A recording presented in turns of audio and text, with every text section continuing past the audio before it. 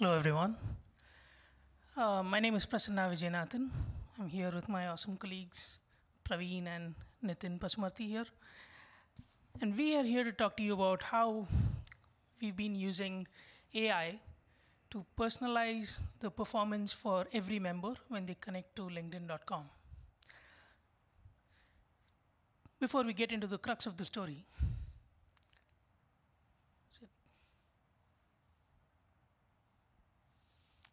going back in time. Uh, not a lot, maybe a few months when I was here for the previous summit talking about a performance experiment that we ran. The goal of the experiment was to figure out what our members like to experience on LinkedIn. Do they like a really fast, light version of the app with limited features? Or would they like a really heavy app, something that um, updates your profile based on your how your morning meeting goes and feed your cat at the same time. Maybe not, but you get the idea. A really heavy app that's going to be loaded with features, but slower, versus a lighter app that is limited on features but much faster. And because these experiments with performance don't happen out in the wild very often, we took this opportunity to learn about um, gain more insights into what makes members uh, prefer certain types of experiences. In order to do that, we used certain uh, metrics to that that encompass features like what network people connect on and what devices they are using, what browsers they are using, and so on. Uh, defining characteristics of what a member would experience as performance in in the end, and use that to uh, classify based on historical performance data, classify them into fast, average, and slow performance. And then when we ran the experiment, we said, let's randomly choose members in each of those cohorts and give some of them the lighter experience and the others the heavier experience. Then we went on and defined certain metrics to identify what happened, basically. First up, page load speed, which is uh, the latency they experience when the app loads. Right? Um, with page load speed, as expected, we saw the page load speed increase, improve drastically on the lighter app, uh, and the improvement gradient increases from fast to slow members. Right? This is expected. The next uh, metric we are looking at is the number of members coming to the app. Think of it as quantity, right? So when we gave them the lighter app, members tend to come to the app more frequently. So we saw an improvement in the number of members coming to the app when it's lighter and faster. And that was across the board. The faster members the average and slow performing members, all of them came to the app because they probably liked the lighter version better. Good? Okay. Here's where things getting interesting. Sessions. Think of sessions as uh, quality, as in when a member comes to the app, how long do they stay on the app for? Right? It's a measure of that. And when we looked at that, we did see improvement across the board. But what was interesting was there was this wasn't consistent across uh, the three cohorts. We saw that the fast and slow users tend to stay on the app longer than the average uh, cohort members when they were given the lighter app. And that brought up the question, is this where the tipping point is between speed and features? And this question also prompted us asking about what is happening. Like, why would there be certain members who would be different from others? What is causing this disparity? And the answer to that pretty much came to some of the topics we've covered today the diversity in performance. If you think of uh, where LinkedIn operates, we operate at a global scale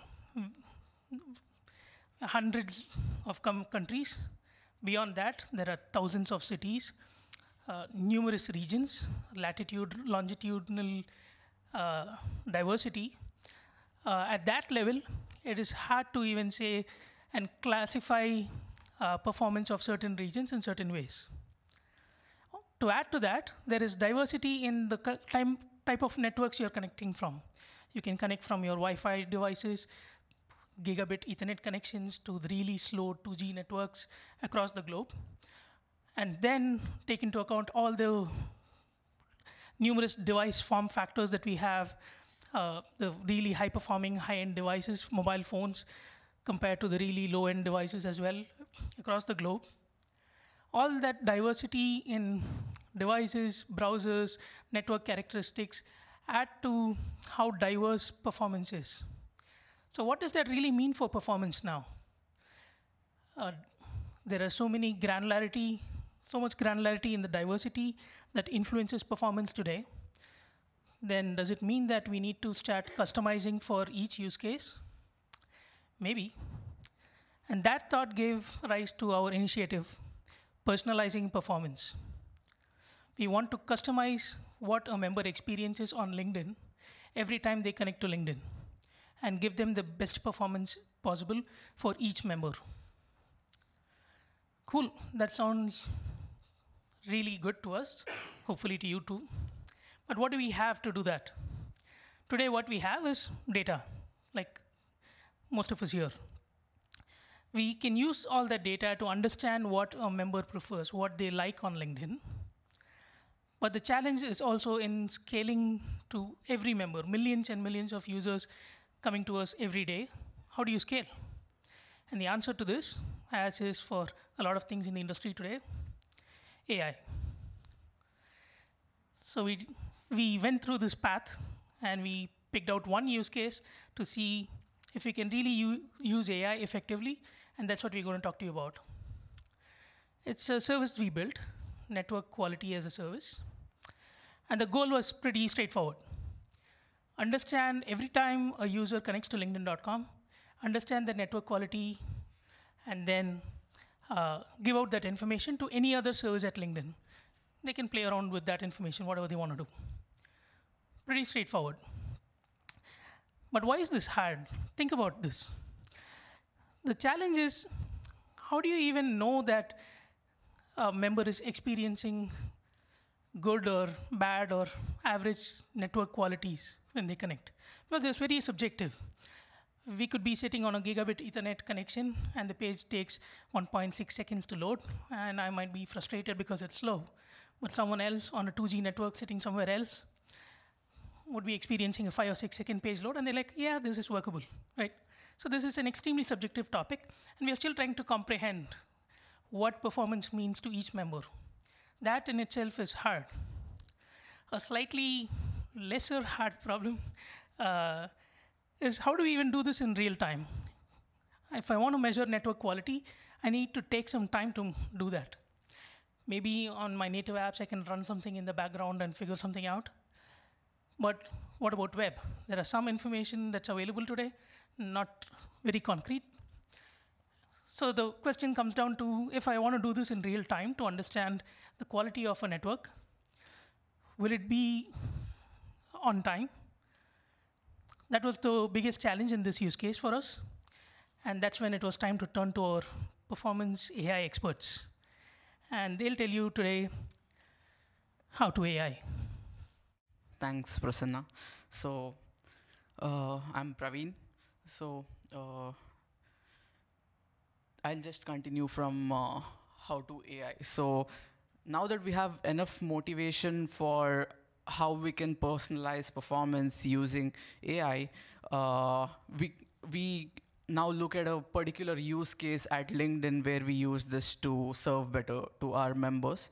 And uh, it's called uh, LinkedIn Lite. So it's basically a light uh, version of LinkedIn, which is catered towards uh, serving our members in the uh, emerging markets, and it aims to provide like a lighter and a faster uh, experience for members in those regions. And uh, we typically face two types of challenges with these members. So one, the devices might not be very uh, high performant or powerful. There might, most of them would be uh, low end devices. The second type of uh, challenge would be uh, the network conditions can be challenging in these regions. And uh, here we could leverage uh, the uh, capacity of NQS to serve our members better by uh, deciding real time what type of uh, content or what quality of content we want to serve to these members. So uh, this is uh, typically how uh, NQS is implemented for LinkedIn Lite. So the main objective here is to kind of decide uh, the network quality class that a member uh, would belong to, which would be typically like a good good class or a bad class or an average class. And uh, uh, we use some features which would help us uh, achieve this objective. And uh, we use different techniques to come up with uh, what features we choose to uh, to run our models through. And model is basically like uh, you can think of like a mapper mapping function which would uh, give us the objective using these features. And uh, we'll go about the features in the next couple of slides. So coming to the first part the data. And uh, the data that we use for NQS is called uh, real uh, user monitoring data uh, this is like one of the very popular ways of collecting performance metrics. And uh, how this basically works is on the client side uh, we run a javascript uh, which would uh, collect performance metrics and send out a post beacon uh, like every time it collects. And we get metrics like network network network metrics or timing metrics and we also get uh, information about the device browser and things like that. And we use this as our source of truth to extract our features and also uh, extract our uh, labels uh, out of this data. And with data it's it's really important to understand our data before we start doing anything with the modeling or any of the next steps. So we need to understand what features we need to use, how these feature features interact with each other, and uh, what are their distributions. And basically, we look for uh, any weird data that might throw off your model uh, analysis because uh, garbage in is garbage out. So how well our model performs is highly dependent on the quality of the data that we have. And uh, understanding and being the master of data would uh, help us avoid these problems and also help us what uh, to uh, know what kind of uh, cleaning that we need to do on our data before we go on to uh, the modeling part. So uh, the next step is feature engineering, which is uh, just like how I explained, we um, kind of came up with these four categories of features and we thought that th this would help us uh, classify our uh, objective into three classes basically. So one is geography, which is the city or country uh, diversity uh, that the user uh, is in. The second is the network, which is basically the uh, internet service provider or the class of network. I mean, whether the user is connected on Wi-Fi or uh, 3G and things like that. And the third is device. Uh, this is important because even though the network is like really strong, sometimes the device might be the bottleneck because the passing and rendering might be slow on a low-end device. And similarly, the browser name. And uh, one thing to keep in mind is that we use NQS during the initial stages of user engagement to kind of decide what uh, uh, what content we serve, the quality of the co content. So these features that we choose should be uh, available during the initial stages of user engagement. And uh, with features, yeah, uh, we can we can broadly classify these features into numeric and categorical. Numeric features are simple. They are basically numbers which would be consumed by our uh, model directly. And categorical are uh, these are uh, string values. Uh, examples would be something like a browser name or a device name or data center. And we need to uh, do some encoding and convert them to numbers before the models can consume them. And uh, the challenging part uh, we faced was most of, most of our features were categorical and we had to do a lot of work on feature engineering before, like to convert them to numbers uh, before we trained our models on. And uh, as I was telling, we have three uh, output classes, and uh, the way we identified these three classes was like we looked at the historic RUM data, and uh, we looked at the percentile distribution of the page load time, and using our uh, like domain knowledge, we kind of draw drew boundaries uh, on the percentile distribution to come up with good average and bad page load times. So now that we have the input data and the uh, objective, uh, coming to the modeling part, so we tried like a few techniques with modeling and uh, few important things with modeling is it's very important to start simple and set a baseline and have a sense of how uh, features are uh, working out and uh, yeah how, how basically a model is working and then we iterate on making the model better and tune the model uh, to get the best performance out of it. And uh, the first technique that we tried was uh, it's it's called decision trees. They are pretty simple and specifically in decision trees, we tried this technique called XGBoost. So decision trees are basically tree-like structures, and uh, uh, this is how it. This is a example which would help you give an intuition of a decision tree with respect to NQS. So each each node is basically an if-else clause, and it would try to make a best split of the input data uh, so that uh, you, you have different categories on each of the leaves. And each leaf would give us how confidently a tree would predict this input as a good or a bad class.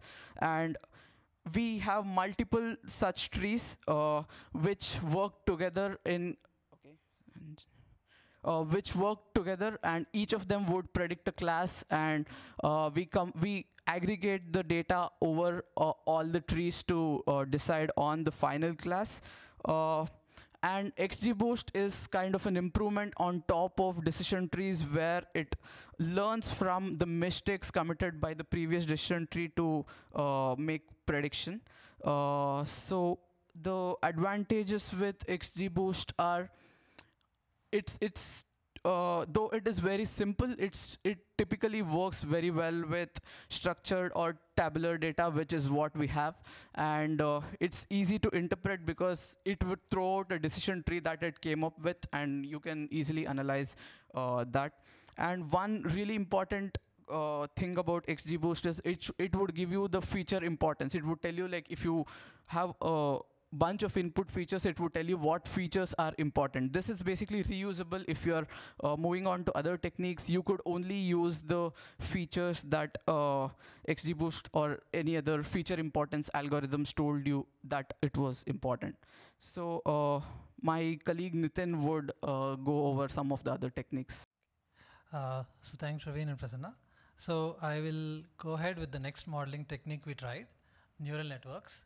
So neural networks work quite well, as we all know, in uh, image and audio data sets, where they try to classify whether it's a cat or dog, or even a more complicated example of trying to use it in computer vision tasks for autonomous cars, and also for trying to understand uh, audio to text. So, given such human uh, like level performance for neural networks, we also tried them on our problem set using the same data set and using the same input feature so that we can compare and contrast how this type of modeling technique works for us.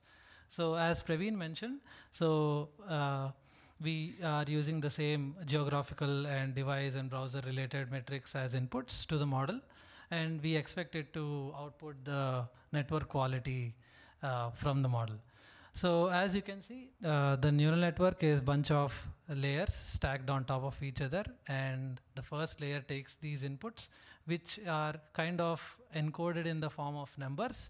And the second layer takes the output transformations of this first layer and then passes this information along till the output layer. The output layer then uses this information, compares it with the source of source of truth, and then passes the result or a grade back till the beginning of the first layer, and then that's how, in an iterative manner, they tend to learn and then they get better over time. So uh, that's a very quick overview of like what neural networks do and how we used them uh, to achieve the same task. Uh, so we observed a very uh, modest improvement of two to five percent in some performance metrics, uh, given like the using these over other decision, decision trees like techniques. So However, uh, besides the accuracy and performance, I think these are also some important advantages and disadvantages we should know before jumping into neural networks. One is due to the nature of the design of the problem and the way they train, neural networks tend to generalize better on unseen data sets. They don't, they have various techniques, uh, more advanced techniques to prevent or curtail the amount of overfitting is what we call uh, try to learn too much from the data they have been trained on. So that's one good thing about neural nets. And the second thing is uh, due to things like embeddings, uh, which are uh, relatively kind of only present in neural nets as far as I know, uh, which help us try to learn unique representations of these uh, categorical features which Praveen was saying. So you can learn a representation in the form of numbers for say uh, uh, iOS uh, string. So and another unique representation say for Chrome. So using these representations, we can learn how different uh, browsers or different OSs correlate with each other. What two browsers are similar to each other, what two OSs are similar, and many such countries. How do countries cluster together with respect to performance? So not only that, with embeddings, those unique representations, uh, we can transfer them to another problems using uh, which are in the same domain and start have a warm start or a kick start for the next problem to solve uh, rather than start training from the scratch. So that technique is what we call as transfer learning. So embeddings enable us to do such cool things. So and another good thing is these are learned and not provided by the user. So we are not trying to say this is how you have to represent browser. So these are learned as part of the training process in the by the model itself. So uh, and as we all know, like TensorFlow is one of the TensorFlow and PyTorch. Uh, many such libraries have become very popular on GitHub, and we have seen explosion of uh, users and the interest in these in the last few years. They help us not only write a prototypical code, but also production ready and uh, code that can really work on distributed systems and at scale on huge data sets. So that such thing and the community is vibrant and we can like get help. So that also is a very good sign of using neural nets and this is the right time to try it is what we like it's from our experience. And uh, one other thing is uh, there is a huge advantage if we have large data sets for using neural networks. So as we feed more and more data the complex networks can really take advantage of it and they don't plateau the accuracy as early as the other classical neural networks. So if we have more data, we can really tip the accuracy and push it a little ahead further uh, by feeding in more training data. And it generalizes even better. And these are all the good sides, but the downside sides, there are a lot more conceptual uh, topics that are needed to understand and to tune manually. Like how do we know the number of neurons in each layer? How do we know the layer, number of layers? And what are the SLAs once we deploy them to productions? And we need amazing infrastructure to uh, train these, like lots of GPUs and clusters of machines working in tandem for doing distributed training. So all these complications are still there, uh, but uh, to keep in mind when we are uh, planning to use neural nets. Uh, so once we have either of the models ready, we deployed them in production uh, currently in this fashion. So this is one way of deployment. We call this offline uh, deployment of a model. So we take our raw real user monitoring or RUM uh, performance data. We transform it into a format that the models can understand. That is probably some form of numbers. We call it training data. And then uh, we train the model offline, um, like over a period of hours or days, how much ever it takes. And then uh, once the model is trained, we use some form of historical data and save the predictions in a key value store. So, uh, so that we are meeting the SLAs of our uh, teams who want to use this service at LinkedIn. This is our current infrastructure we are using for deploying models in, in uh, production. Uh, so once the model is deployed, we kind of break uh, have this kind of scheme. We try to have multiple models running in production just to see the accuracies we observe in our lab are how well are they matching with our NAB experiment to see the metric we care about.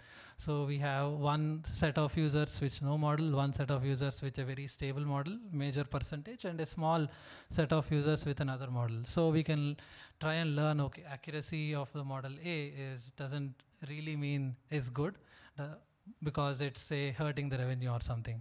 So this way we have uh, our experiments live today. Uh, once we deployed, once we saw everything uh, working well, so now we have our first model results ready, and which really uh, kind of inspired us, and we felt all our hard work came to uh, like a good point. So we saw huge improvement, as you can see on uh, the x-axis is the relative percentage improvement. On the y-axis, each of the metrics we cared about uh, like the number of unique members improved, the number of actions, because this was uh, implemented on LinkedIn feed, we saw actions also improve a lot because images load faster on feed based on the predictions made by the model. And the number of shares and messages also sent also improved quite significantly. So uh, uh, I think, uh, yeah. So next, uh, what are you planning to do more with ML, Prasanna Welch. Thanks, Praveen and Nitin. Phew, that was too much details. I don't know how many of you even followed. I didn't. Uh, but here's what we plan to do next. We want to scale this. We, we are thinking of scaling NQS not just at LinkedIn, but try to push, make it open source, get contributions from the industry, and let everyone take the benefit. And beyond that, we want to do more with AI for performance, as in things like image compression. We know there are so many al algorithms, and some algorithms do better in some cases, and others do better in others. Why not build an AI which will know what to do, which algorithm or which approach to pick to get the best image compression possible? That's something we are exploring. Root cause analysis for performance regressions instead of people sitting and looking at charts manually and debugging, spending hours and hours, can we get points, hints, and guidances from an automation system, an AI, that can say, hey, I think you should be looking in this direction, not that, right? That's another thing we are exploring as well. And then even uh, more advanced topics like predictive prefetching. Hey, a member at this time is loading this page. What page are they going to go next? Let's prefetch it so it loads really fast for them. Right? Ideas like that. Well, the last one, definitely not the least, that I'm very passionate about, and my colleague who will be talking to you next, David, uh, is driving this carbon efficient computing. How do we save the world and use AI for it? The opportunities are limitless. Let's explore them together. Talk to us. Thank you.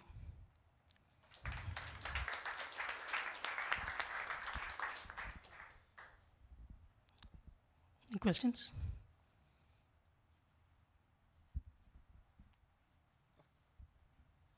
So, uh, what what kinds of variables are changed for a in the in the app experience for a good versus a slow?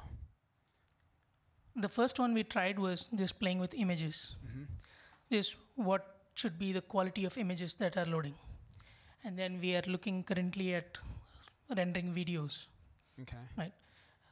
So the the question that comes out of that, and this is some this is not unique to this work. This is uh, sort of something that we all have to deal with, is that this could perpetuate an entrenched disadvantage. Uh, that is, you're from a place, you have a particular kind of network, you have a particular kind of phone, you're going to see this content maybe from now on, even if the network changes, even if the device changes. Uh, what kind of thought do you guys have about how to avoid that trap? Sure. Uh, that's actually a good question, and we have thought about that. Is this one of the models that's running? Uh, how much importance we want to give to this model is up to the use case. So,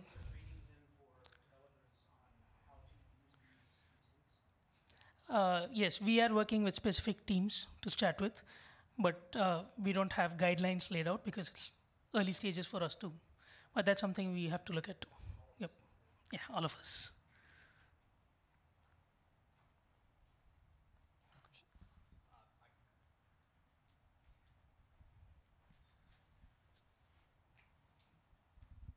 Hi, Alexander from Facebook, from MobilePerf. Uh, where do you, for neural networks and network quality in particular, where do you get training data? You need vast majorities of training data for it, but at the same time, getting it beforehand is hard. So how do you deal with that? Yeah, I think. Uh, you want it or should I? So uh, for both the models that we tried, we get the training data from uh, real user monitoring. Uh, I think it would be called different names and different companies. So it's basically from the post message that gets sent out uh, from the client.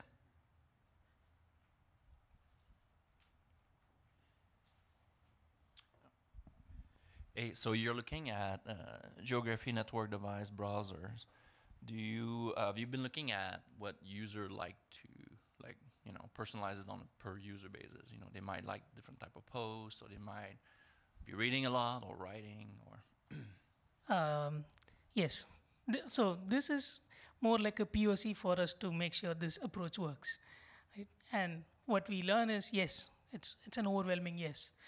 What uh, personalizing performance really means for each member, uh, understand what they want, and then deliver that experience. And that is not going to be limited only to performance metrics. We want to tie performance metrics that we have, all the data that we collect for performance, with other metrics like how engaged are they, what, how long are they living on the session, what, what is the performance metric when they are dropping out of the app, and things like that, and understand all of that to actually deliver the best possible experience and performance for each member. That is our goal.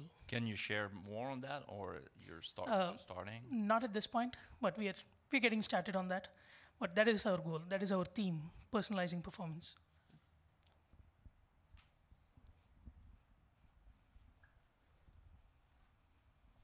So the so this is Samir from Google again. The so the initially the set of variables that you described that are going into your network are not that large. So I was a little bit surprised that you had to use a lot of compute power to train that network. So that's part one of the question. Part two of the question is, did you then go back and look at what the network had learned, and was there a simpler way of like after the discovery had been done, is there just a simple maybe a regression or some simple object that actually both explains uh, why the decisions are being made the way they are, and it doesn't require you to run an entire net network at runtime to do this. Uh, good question. So, just to clarify the the input data that we showed, uh, they are the categories of data, but the actual data itself that went in was much larger than that, right? Um, so that that's one of the reasons we went with a neural net f- uh, for this use case. Um, I'm, I'm sorry. Uh, what was the second question? Did you try to work backward? Did you try to Oh, work yeah. backwards from the network to figure out what was the decision-making rule? Um, you want to take that? I think so. The main motivation of the feature importance or XGBoost is to like learn what features are important and then use those like to understand what the model is learning and then see later if we can push that accuracy further. So we started with simple baseline models and observed or a random model, even even basic, uh, and then gradually improved. And we saw certainly there is an improvement in our data set given the complex correlations because it's a very tough metric to predict on page load time, right? It's an end, end metric. So we certainly saw going more complex. Yeah. Were you able to work backwards to saying uh, this is uh, this is the functional relationship between the inputs, that gives rise to the page load time metric. So what's like how are the, each of these metrics correlated? Yeah, how like what is the actual prediction uh, uh, va- Like sort of the- prediction value of these?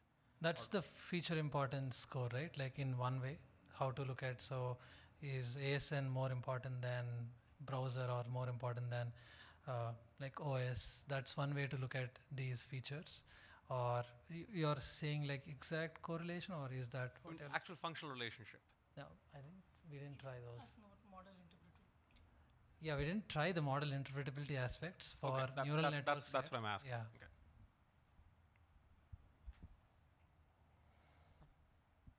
A quick one. Um, how static is the model that you generate? Uh, is it? Do you need to update that model over time? And so, how often? So currently we are in the third iteration of the models. Um, the plan is to continue retraining an existing model. So we've defined metrics to watch for to figure out when we really have to scrape out a model and build a completely new one. But that's not going to happen very often. What will happen, like every two weeks once, is an existing model will retrain with new sets of data. So it won't be like building a new model, but just keep training it on the newer data that keeps coming up.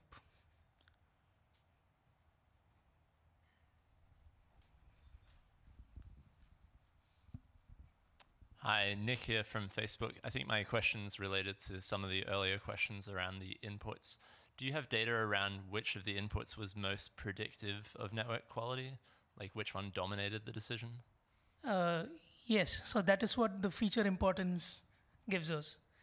I don't know if I can So tell you the answer now. I, I guess you maybe Yeah. aren't able to reveal it, but do you basically, does it result in one of them dominates the equation that usually happens? Uh, not No. one particular metric. That's what.